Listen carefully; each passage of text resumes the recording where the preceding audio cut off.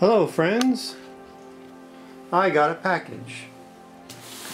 This is a package for a gentleman called Vault 60 Overseer. I guess he has a brand that he's trying to develop is around that word. It's, he says it gets some power now but it cannot get to read write. And then eh, he has no power to the other external drive or a Gotek. So I guess he's saying that that when he plugs another drive into the back of this, um, there's no power.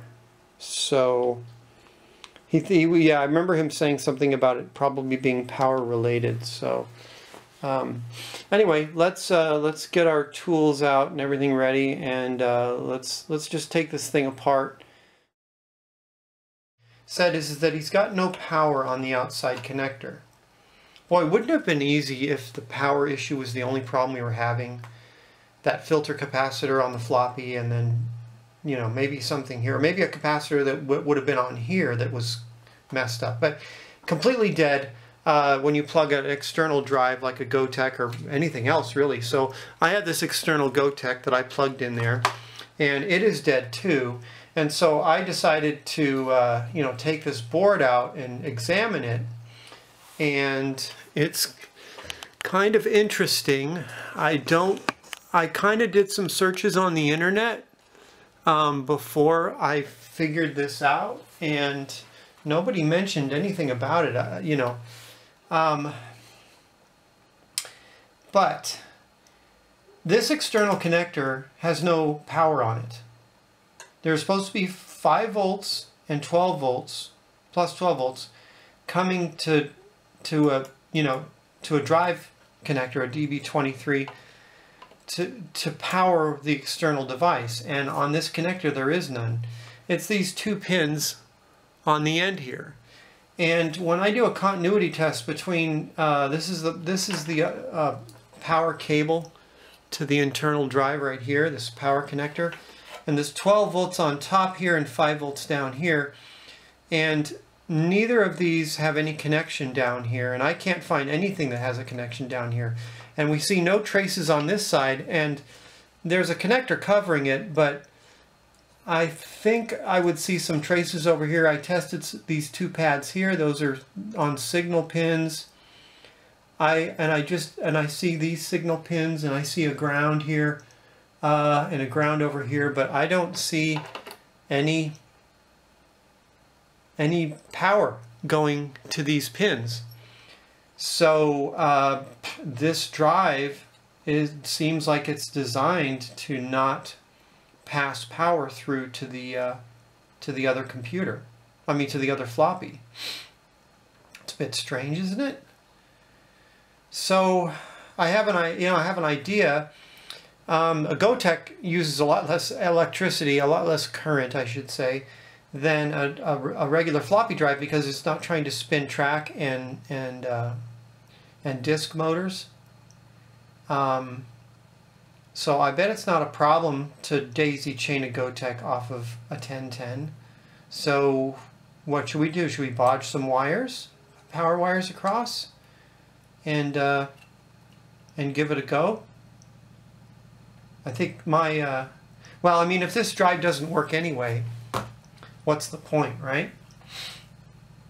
So I think what, uh, I mean, you're either going to find a, another 1010 drive, internal 1010 drive, or you're going to grab another floppy out of another Amiga and adapt it to fit in here, which have, people have done before. Or I already have a Gotek made for the Amiga 1000, a Gotek mount. I should have, I think I've already published the video about that. Check my channel for it. Uh, this would fit right in here because I designed it for the Amiga 1000 and of course this is exactly the same, you know, other than the fact that there's there's not a bunch of uh, mounts here that go on top of the joystick and, and mouse ports on the side, but other than that, like the inside of this is probably identical. So I think as it, I definitely I wanted to find out if this fits into a 1010 because I, I needed to confirm that before I could tell people on Thingiverse that this works with both. Um, so I'm going to try that, and uh, I guess I'm going to jump power across. Just going to verify which of the 5 and 12 volt rails. I'm going to verify which ones they are just to make sure I don't get them mixed up and blow my Gotek um, and potentially something else. So anyway, yeah, let's. Uh, this would make a good video. How to activate power on the external port of your 1010 if it doesn't have power. So anyway, I'm I'm gonna turn on the Amiga and make verify which is 12 and 5, and then I'm gonna make 100% sure that I know which one of these two pins on the end is 12 and which one's 5. I think the 5 is on the top. Anyway, let me uh, let me put that bodge wire in and see how we do. Okay, here's our end result. There was a nice uh, via here for me to solder 5 volts to. So I did that. And uh, I mean, I'm using thick wire because this is, you know, this is power, the power rail. A little bit thicker than I needed to, but it's just what I had on available. Actually, it's more about the ins this insulation is actually extra thick. But yeah, I did a little squiggly to get us between the uh, screw posts, uh, if we're leaving it, that is. Um, so I think what I want to do before I do anything else is I want to test the, just to make sure I don't have something messed up. so the best way to do that is, you know, to make sure that I didn't find the wrong diagram. Boy, you have to really be careful about that. If you Google, see, I have put this in one of my other videos. If you Google CD32 power pinout, the first hit on there is wrong. And you'll blow your CD32. Yay! Okay, so what I'm going to do is I'm going to test pin 12 on this connector back here. Okay, let's make sure we're not shorted or anything. All right, so we're on volts. And we're just going to see, we should have 5 volts. Yeah, 5 volts. Alright, so that is definitely the 5 volt rail. And, uh, and so that's the, the top one. And the bottom one is supposed to be, oof, it's supposed to be 12. Can't really see what I'm doing here. Okay, this should be 12. It's actually coming up at 13, okay. Um, so what these are is these are the, ooh, these are the, uh, the 12 is here on the top. I'm sorry, the 5 is up here on the top. Focus. The 5 volt is up here on the top and the 12 volts down here. So now I'm just going to plug just this in without a drive or anything and make the exact same tests. Alright, moment of truth. Alright, so we're good here.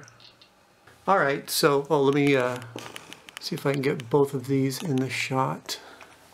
This is too far away. You can't see it.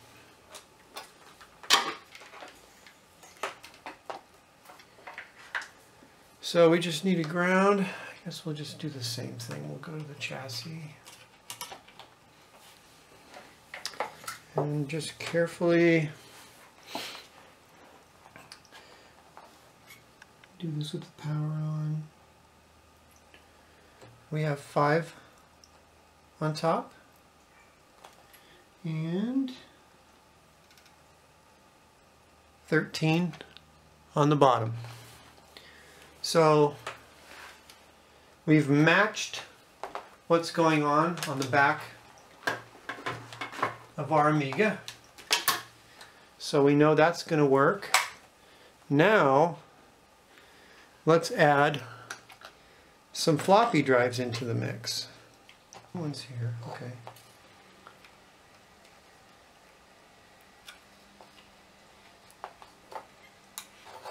into the 1010 chassis. See, this is the type of thing you have to worry about. This power cord might not be long enough. Fortunately, I've got extras. Okay. And we need a thumb drive, probably, I guess. Uh, do I have another one around here? I do, don't I? Yeah, this is the one.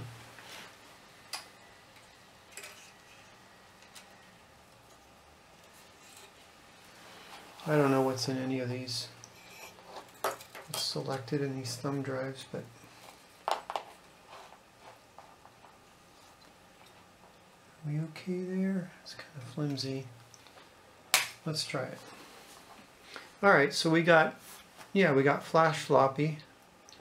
It looks like in this one we have a Workbench 1.3 disk selected. Do I have anything else on here? No. Amiga test kit.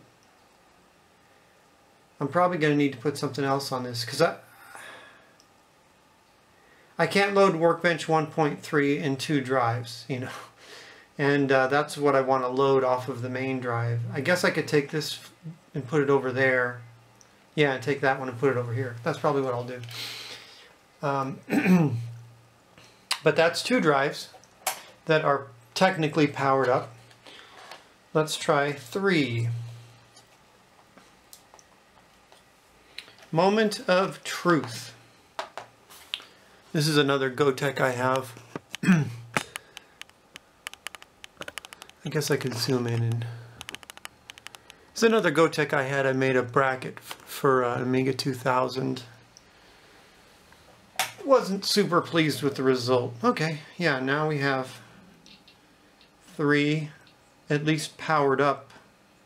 This is DF0, DF1, DF2, and I'm just making sure that I load Workbench off of that and then just have two other DOS disks in here so that they show up on the desktop when we when we finish loading Workbench.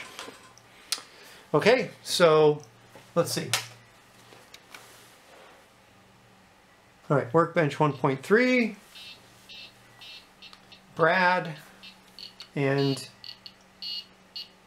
yeah, Faery Tale Adventure. Okay, Good. Let's see what happens.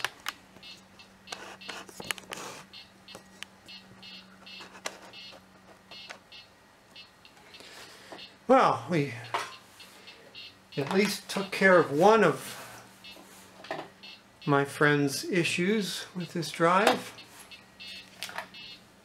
And if he if he buys this Gotek from me, I'll just leave it in there, and I'll, I mean, I'll send him a fully functional drive. It'll have a Gotek in it instead of a floppy. Here we go. Here's Brad's empty, which is not empty. It has some files in it.